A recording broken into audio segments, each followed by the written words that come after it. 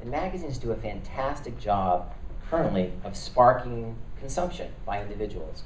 We write about trips uh, to take, restaurants to visit, clothes to buy. Uh, I think what you're going to find is content companies are going to move into commerce. They trust us for those recommendations, and I think we have to find the proper ways, again, to monetize that. And so you can imagine the day that 20 or 25% of our circulation can be in tablet form, and you see the beautiful men's suit from Zegna available Saks Fifth Avenue. It's a service to the reader that they can just click on that and to be able to buy it.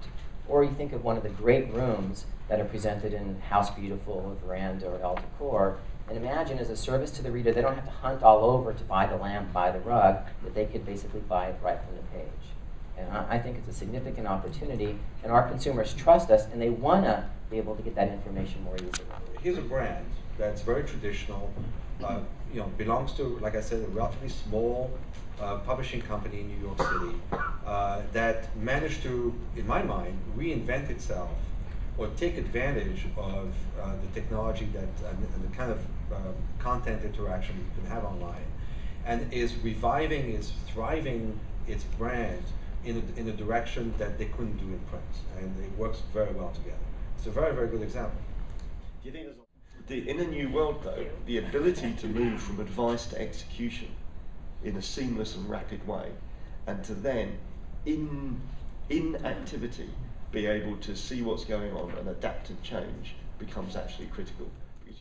That's slightly different, but digital cinema generally, yeah, I think from a big movie perspective, actually has a little bit of exposure, right? While our costs go down, the shelf space that's in that exhibitor is no longer 100% dedicated to big budget movies that could carry the cost of a film print.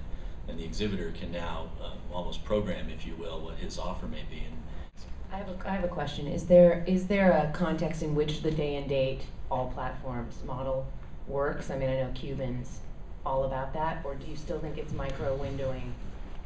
No. I mean, I don't think it works now. E- Not right. well, it- ever it, is- It, I mean, doesn't. that's but I like- mean, is it the type of? Is it again down to cost? So it's uh, real world delivery. No, it's or- it's it's it's down to margin, which Right. is balancing revenue and cost. right. They tend to want to think through things in a different way, they have a different perspective.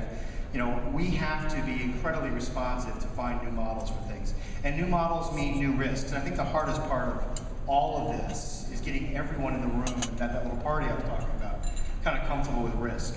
So I'll, you know, we'll have amazing conversations with Carol Mendelsohn, who is the does 400 procedural shows, CSI. She's dying to do things so that the second on her CSI show you see a new piece of evidence, that evidence is on your iPad at that exact moment in time.